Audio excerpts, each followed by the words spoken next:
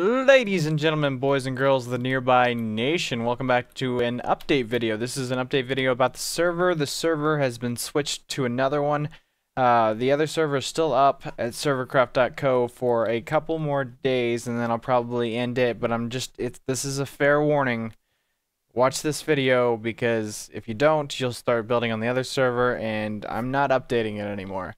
Uh, this server right here that I will put in the description anyone who is whitelisted can get into this server because the whitelist still transferred over. And if you want to apply for the whitelist, go look at my whitelist applying blog. But other than that, this is going to be the server. It is a 64 player server, upgraded the RAM from my last server from 1 gig to 2 gigs. It's through Beast Node now instead of Servercraft, which helps out a little bit because Servercraft was kind of treating me a little bit bad, or at least I thought they were. It seemed like uh, every other day my server was going down or something else was happening badly. So we are with ser or we are with Beast Node now. Thanks to one of the admins on the server.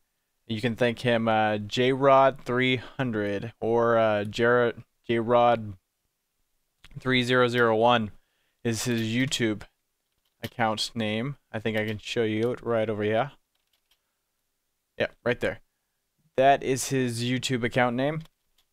He is also an admin on the server, and he has uh, helped me out tremendously, not only uh, with kicking, banning people, making people not so bad, because there is there has been a lot of griefers. But other than that, he has told me about this Beast Node server hosting company, and it it is uh, it is going to be probably hundred percent better than what this other one is.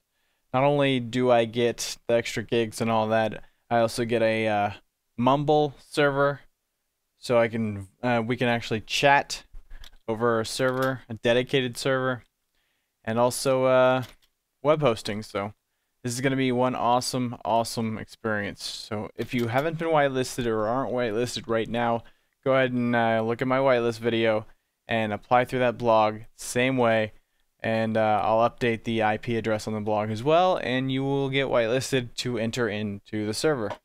Now, if you grief, I can't help you from getting banned, but yeah, all you have to do is follow the blog, and I guarantee you I will whitelist you.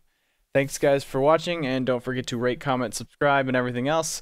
There won't be a video up tonight of me playing anything, for one simple reason. I've been sitting here trying to deal with Bukkit and permissions on the server for most of the night, so... Anyways, thanks guys. Bye.